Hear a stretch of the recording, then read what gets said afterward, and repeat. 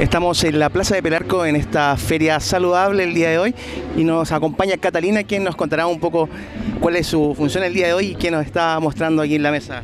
Claro, acá estamos en el stand que tiene que ver en relación con el alcohol y los accidentes automovilísticos. Acá quisimos especificar los grados de alcohol de cada, de cada botella acá, empezando desde el, más, desde el menor grado que es el de la cerveza que es de 4, 4,5 grados aproximadamente, llegando a los más fuertes que son el aguardiente, el whisky, etcétera. Quisimos especificar cada grado en cada botella y poner eh, más información sobre cada vaso que consumimos. Tenemos acá la maquinita que con la típica que nos hacen el alcotés.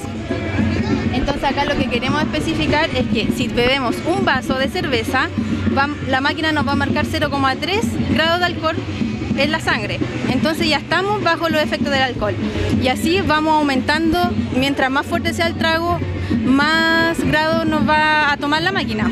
Hasta llegar al final, que ya son 0,6 grados de alcohol. Eh, cuando nos tomamos ya sea un combinado de pisco, de, de ron, el combinado se refiere a bebida con alcohol. Cuando nos tomamos ya dos vasos de un licor fuerte, estamos bajo en estado de ebriedad, que es cuando marca la máquina más de un 0,8. Y aquí están las causas, las consecuencias que, mm, nuestro cuerpo sufre al tomar. Entonces acá vemos disminución de los reflejos, disminución de la capacidad de reacción, etcétera, lo que desencadena en accidente automovilístico, que es lo que está al lado.